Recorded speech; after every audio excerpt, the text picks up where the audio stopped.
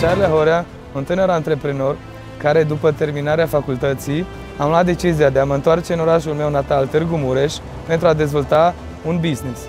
Consider că a venit timpul să mă implic direct în administrația publică locală pentru a veni în sprijinul tinerilor care astăzi nu au posibilități financiare pentru a-și dezvolta o afacere. Odată cu preluarea guvernării locale, Partidul Național Liberal va construi un business hub destinat tinerilor antreprenori și profesioniști. Am convingerea că ideile tinerilor din Târgu Mureș vor îmbogăți orașul și pe cei care locuiesc aici.